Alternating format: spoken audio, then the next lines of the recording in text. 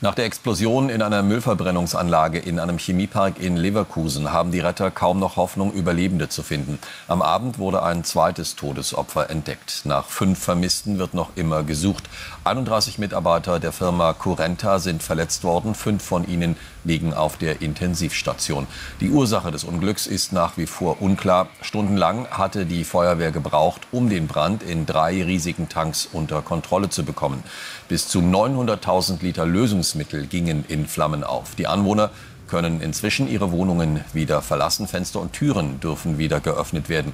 Bislang wurden in der Luft keine erhöhten Schadstoffwerte festgestellt.